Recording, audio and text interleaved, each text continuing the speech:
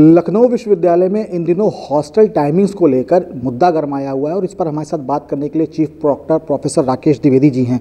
Sir timings को लेकर बात कही जा रही है। कहा जा रहा है कि छात्रावास में आठ बजे के बाद लड़कियाँ जो है वो बाहर नहीं निकल पाएँगी। फिर लड़कों के लिए दस बजे कर दिया गया है। क्या है ये पूरा मामला?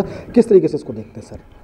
देखिए, विश्वविद्यालय की अपनी एक आंतरिक व्यवस्था रहती है। इस आंतरिक व्यवस्था में जो छात्र छात्राएँ जो हैं, वो अपने अध्ययन अध्यापन का कार्य जो है वो करते हैं।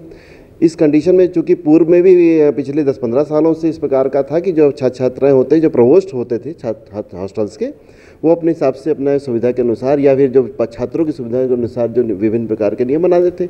तो वो पूर्व में चलता आ रहा एक नियम है, जिसमें कि आठ बजे तक जो छात्राएँ जो होती हैं, अपने छात्रावास में वापस इसी क्रम में हम लोगों ने इसको फिर से सर्कुलेट कर दिया है। और अगर किसी छात्रा को लगता है कि मतलब बाहर जाना है तो अपने पहले भी सूचना सूचना दे करके या इंटीमेट करके अपने जाते हैं। जैसे हमारे एकेडमिक काम होता रहता है तो प्रयोगशालाएँ मान ली रात में चल रही हैं तो टीचर्स को सबको पता रहता है हॉस्टल प्रोवोस्ट को पता रहता है, बच्चे लोग जाके अपना करते रहते हैं अपना काम। ये कोई इस प्रकार का वो नहीं है, हमारी आंतरिक व्यवस्था है, जिसे क्रम में हम लोग कर रहे हैं अपने ये। सर, लेकिन अगर स्टूडेंट से बात करें तो स्पेशली जो लड़कियाँ हैं, वो ये कह रही हैं कि अगर आप इक्वालिटी की बात करते तो अगर लड़कों का दस बजे कर दिया गया तो हमारा भी दस बजे करना चाहिए। देखिए, हमारे लिए यूनिवर्सिटी इक्वल है, चीज़ें हैं, और यूनिवर्सिटी में जितना छात्र छात्राओं को इक्वल राइट सबको दिए गए हैं, सबके लिए उसी प्रकार से सारी व्यवस्थाएँ कभी कभी एक तरीके से इस प्रकार व्यवस्था की गई कि हम लोगों ने इसका कर दिया है, और इस, इसमें कोई ऐसा विषय नहीं जिसमें कि हम लोग कहें कि कोई जेंडर इशूज़ हमारा आ गया है।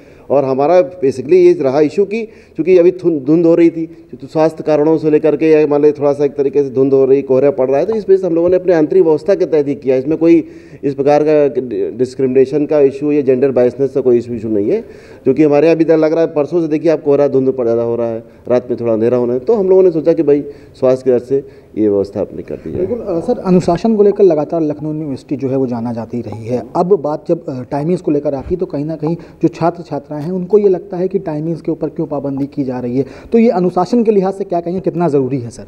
नहीं देखिए अब विश्वविद्यालय है विश्वविद्यालय में कक्षाएँ चल रही हैं।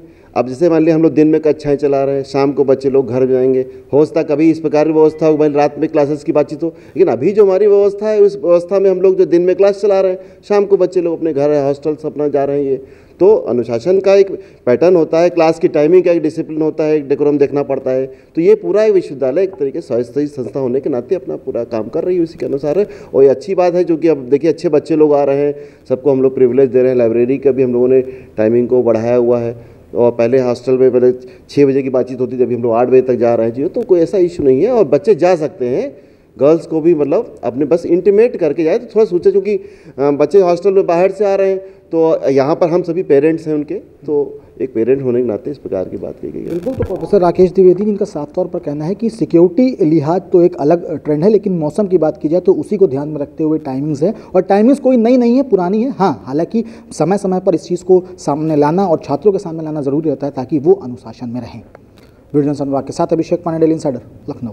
UP और देश दुनिया की तमाम ताज़ा तरीन खबरों के लिए गूगल प्ले स्टोर से आज ही डाउनलोड करें हमारा तेज़ी से उभरता न्यूज़ ऐप। Daily insider